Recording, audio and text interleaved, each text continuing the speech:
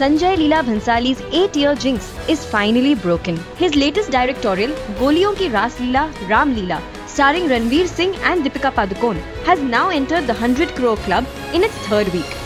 Having released on November 15, 2013, Ram Leela has collected in the range of rupees 1.06 billion, that is rupees 106 crore net approximately. For Sanjay Leela Bhansali, his last hit film as a director was Black, way back in the year 2005.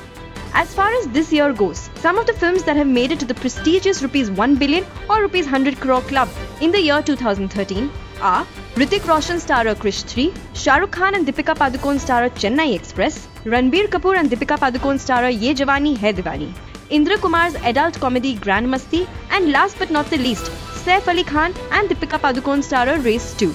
Deepika Padukone has been the one who has had the maximum number of 100 crore films this year.